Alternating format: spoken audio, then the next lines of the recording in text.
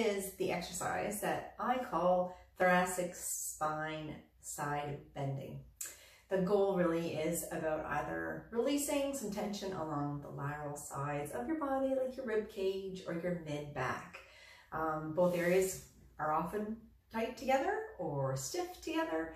Um, and it just, it's a nice way to actively move those areas to decrease their stiffness or their tension.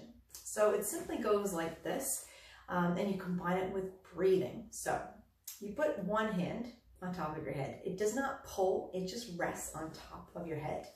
You take a deep breath in, and when you take a deep breath in, you move away from the side your arm is on. So you think about the rib cage on the side that the arm is up on, and you're thinking about expanding them. So you're thinking about opening up your rib cage like that. So you're moving your mid back, your thoracic spine, as well as releasing the rib cage. And something you really want to think about while you're doing this is that the elbow stays in line with the chest. It doesn't creep forward. So we want as much as you can the elbow to stay in line with the chest so the chest stays open. So I take my deep breath in. And as I breathe in, I'm opening it up, just like a big fan. And then I breathe out, I come back to neutral. I take a big breath in again opening the whole side of my body and breathe out.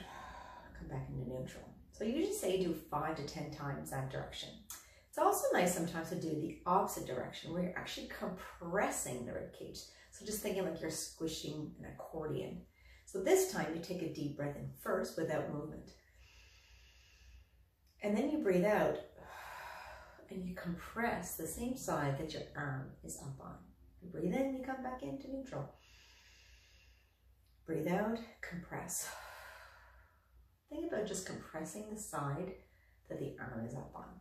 Always good to flip it up, do the opposite on the other side, uh, five to 10 times each one.